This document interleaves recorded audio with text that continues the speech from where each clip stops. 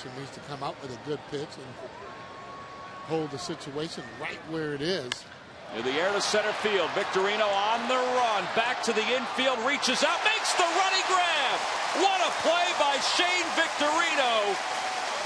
With the bases loaded here in the top of the fifth inning, he records the final out, and it was a big one. Kevin Youkilis thought he had some ribbies.